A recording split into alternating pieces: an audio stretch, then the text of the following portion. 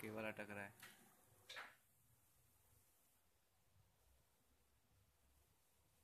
Cable लो क्या ऊपर?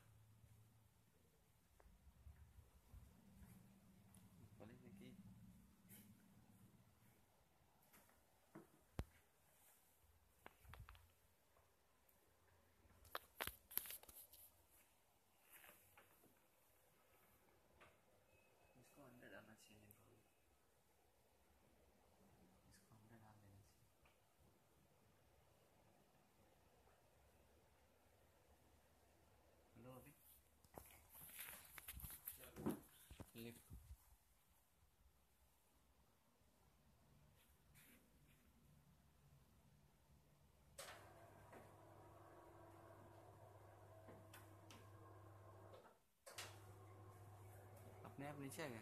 मैंने किया। चाटक रहा इसके लिए।